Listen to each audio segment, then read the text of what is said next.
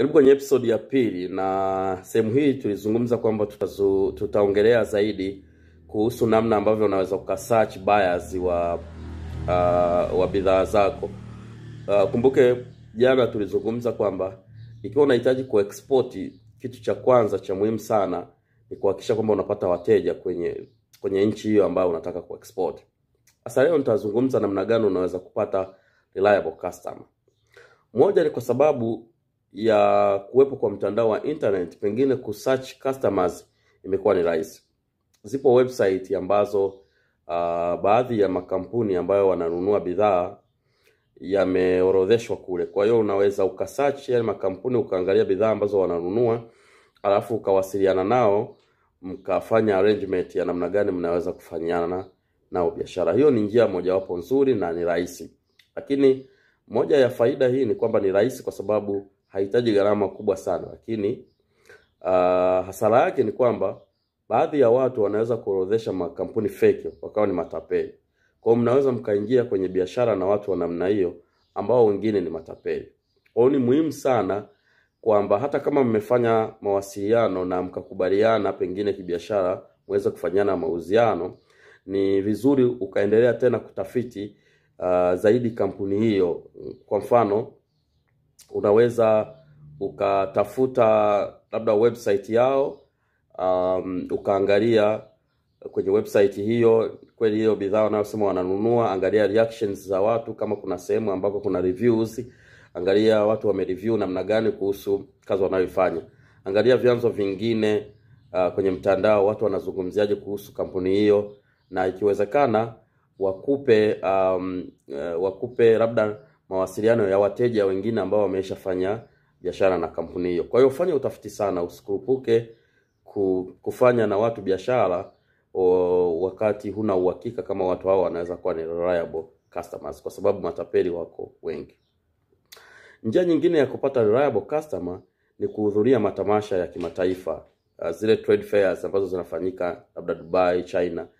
Um, unaweza ukaenda kule na ukasafiri ukaenda kukutana na, mara nyingi kwenye matamasha yale uh, kunakuwa na wafanyabiashara wengi sana na makampuni ambao wanakuja kuonyesha bidhaa, lakini pia wengine wanakuwa wanatafuta pia wateja ama wabia partners wa kufanya nao biashara.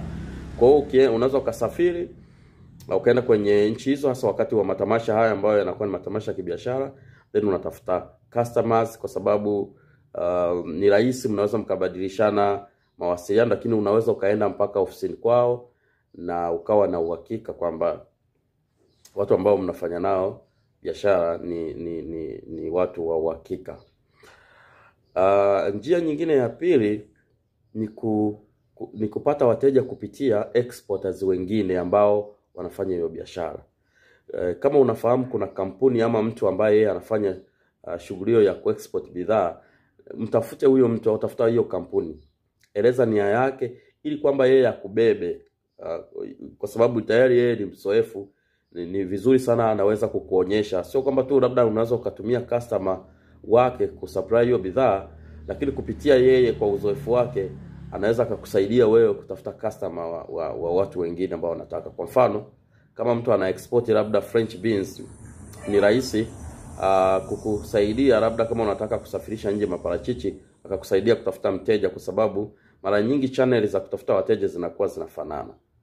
Kwa hiyo hivyo atakusaidia uh, atatumia uzoefu wake pia kutafuta wateja ambao wewe unawahitaji. Njia nyingine ni kujitangaza kwenye mitandao mikubwa ambayo wanafanya biashara, kwa mfano Alibaba. Uh, lakini pia unaweza ukatengeneza website yako ambayo unaweka bidhaa ama mazao ambayo unataka kuexport, alafu unaweza ukasponsor hiyo website yako ama hilo tangazo likafikia watu wengi kwenye nchi ambazo una target kufanya biashara. Kwa mfano unaweza ukawa umetengeneza ume umekadiria ume tu kwamba pengine unaweza unataka kuuza labda um, mboga mboga kwenye soko la Ulaya. Kwa hivyo una target ile ile ile tangazo lako lifikie watu wa Ulaya. Then kwa sababu makampuni mengi pia yanakuwa yanatafuta wateja ama watu wa kufanya nao biashara, unaweza kuona ile tangazo lako then wakafata link ya kwenda kwenye website yako wakakuona, na baadaye mnaweza mkaanza kufanya nao biashara. Kwa hiyo hizo ndizo njia ambazo zina zi, zi, zi, zi, zi, zinatakiwa kufata ili kupata wateja. Kama ambavyo nilisema, ni muhimu sana kupata wateja kwanza kabla hujafata procedures zingine, na ni muhimu sana kuhakikisha kwamba uh, kila jaribio unalolifanya unalifanya na una unahakiki mwisho wake, kwa sababu usipofanya hivyo unaweza kudumbukia ukapata wateja ambao ni mataperi alafu mwisho wa siku ukaishia kupoteza fedha zako. Kwenye episode inayofuata tutaangalia namna ya ku export um, mazao ya mifugo.